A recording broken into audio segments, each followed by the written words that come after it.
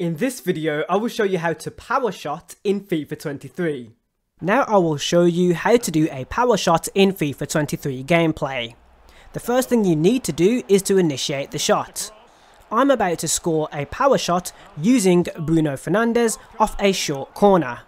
In order to initiate the power shot, you need to press the right bumper, left bumper and the shoot button together at the same time player will begin the animation winding up ready to take the power shot. At this point, you press the shoot button again in order to unleash your power shot. Don't forget to aim in the correct direction. If you successfully score a power shot in FIFA 23 on Xbox, you will also get a power shot achievement.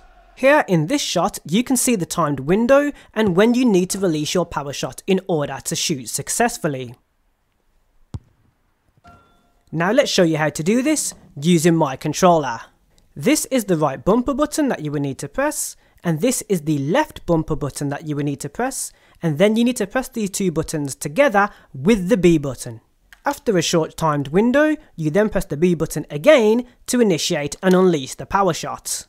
You should see some FIFA 23 content on screen right now, check that out and you can also subscribe. Thank you for watching and remember, you are awesome. See you in the next one.